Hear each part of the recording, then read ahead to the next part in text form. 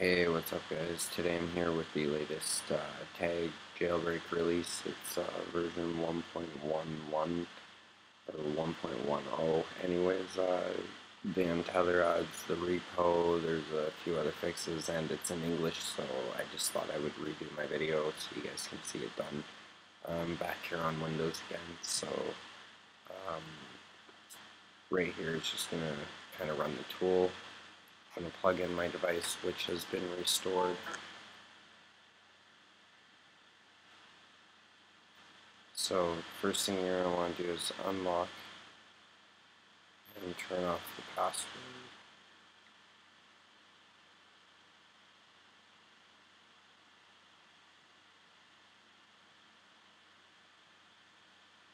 Okay, the password's off. Second thing is disable find my iPhone.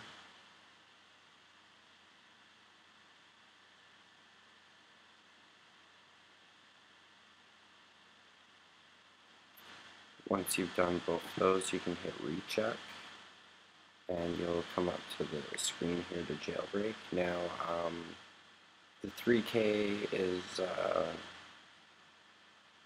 it's up to you if you want to install this item. You can remove it afterwards. Um, I'm not going to choose to install, but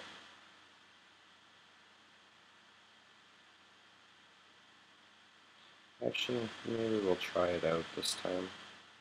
So I'm just going to allow the jailbreak to go.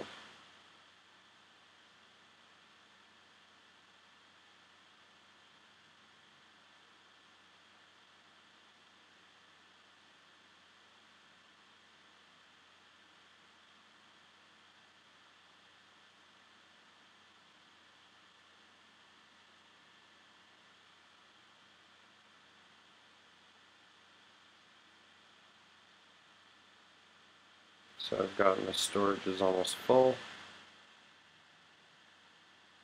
Now my device is restarting and the jailbreak succeeded.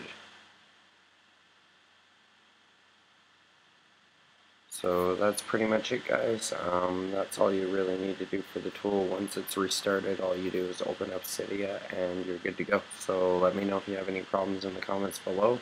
Uh, this is the English version. I've done the very first version when it first came out, so hopefully that was helpful, and hopefully this will be helpful for you too. You can see that it's already, it says it's jailbreaked already, so at least you know um, it's already been done.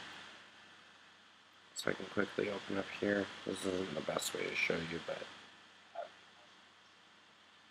load Cydia, and that's it. Thanks for watching. We'll see you guys again soon.